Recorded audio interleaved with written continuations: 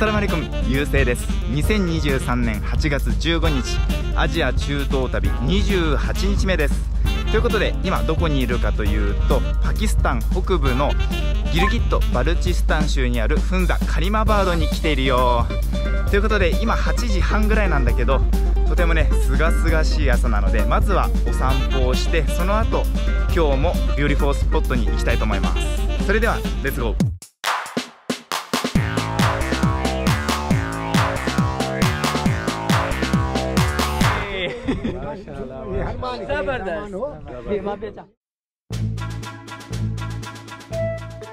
マシャラー旅今回も南アジアパキスタンイスラム共和国。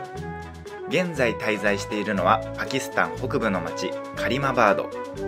今回の動画ではカリマバードからさらに北上し中国ウイグル自治区との国境に行きます。それではどうぞ。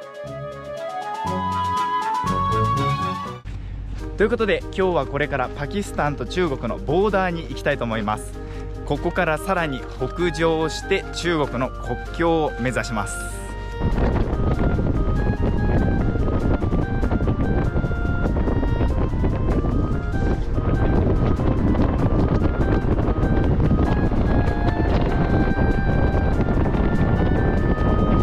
中国パキスタンボーダーに向かう途中なんですがパスーコーンという場所があったので立ち寄っています。こんな感じ。向こうの山がコーンに見えることからパスーコーンと呼ばれています。そして奥には雪山。氷河も見えます。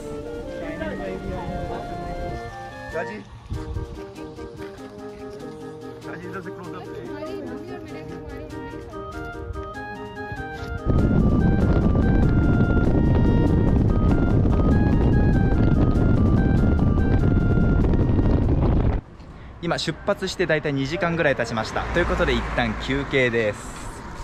このお店でアンダシャミバーガーを注文しました。300ルピーなので日本円で150円です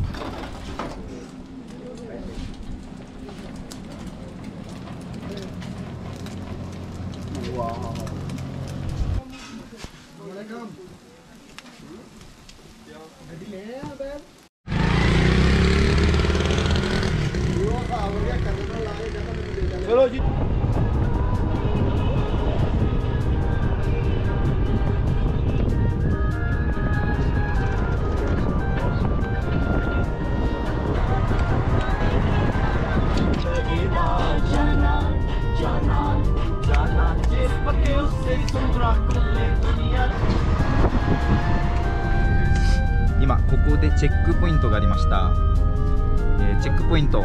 通過料として20ドルか。20ドル支払いました。2回目のチェックポイントです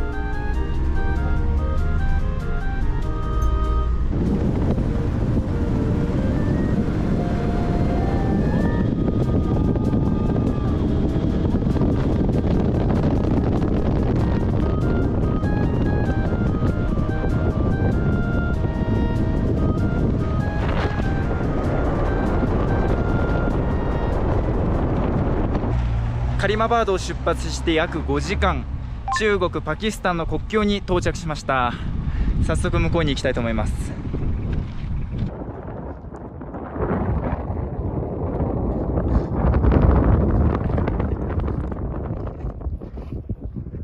ここに見える門がパキスタンと中国の国境です。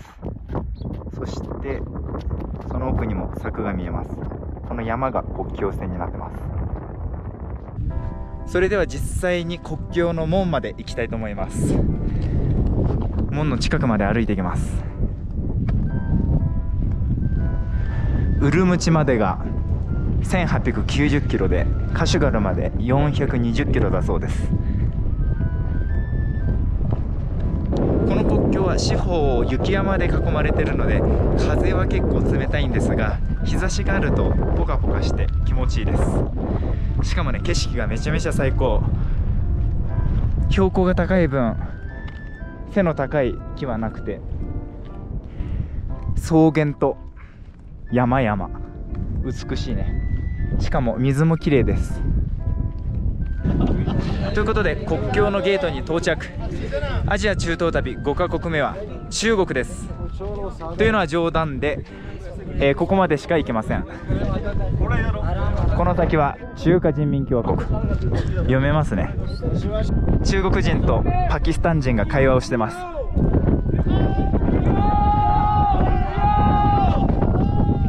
パキスタン側のボーダーラインそして中国側のゲート。ここの間がボーダーです。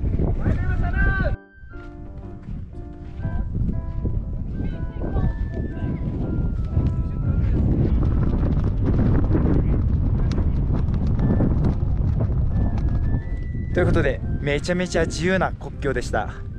ではこれからカリマバードに戻りたいと思います。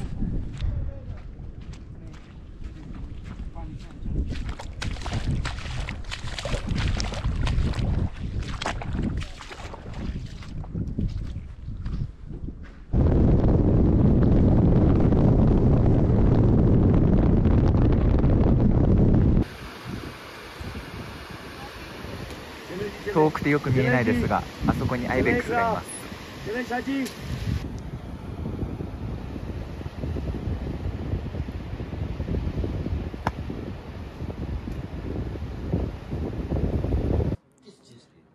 現在時刻は7時半です。帰り道休憩です。チャイ。このお店で甘くて美味しいチャイです。このチャイ屋さん結構観光客に人気らしくてチャイ屋さんの中にはこんな感じで出身国の紙幣とメッセージが書かれてます。日本のやつもあります。無事カリマバードに到着しました。ということでこれから夜ご飯を食べたいと思います。今日のディナーも昨日と同じレストランです。ここフンザではすごく有名なレストランです。メニューはこんな感じ。チャイも種類が豊富だしあとはフンザの伝統料理それからスープもあります。どれも値段は安いですね。ということで注文した料理が来ました。まず1つ目スープ。これがトゥムロズドード。それからこれがギルギルアロー。アローはえっ、ー、とじゃがいもって意味ですね。豆カレーです。それからチャパティ。これが250ルピーなので日本円で125円。これが200ルピーなので日本円で100円です。